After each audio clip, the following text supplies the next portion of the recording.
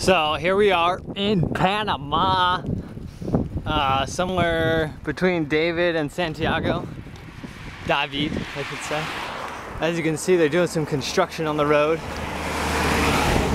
uh, which has been actually kind of good because it slows cars down a little bit, but over and makes them for some nice uh, friends who are working and they're like, yeah.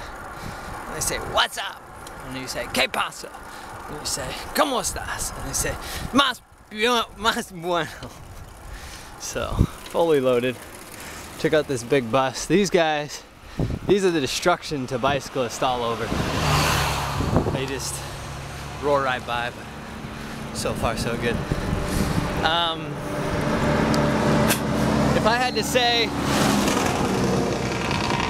if I had to say what's it like out here, I'd say that it's uh, it's like you went on a three-day camping trip,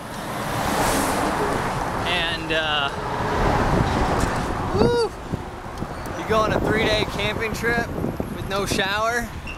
That's pretty much how you feel all the time, except for the 10 minutes after you get out of a shower.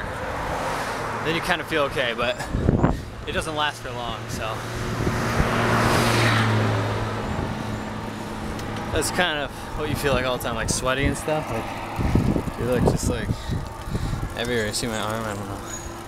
It's freaking disgusting. Well, it feels feels okay. I mean, I like I like it, but most people most people don't. So good thing uh, smell is not transferred over video.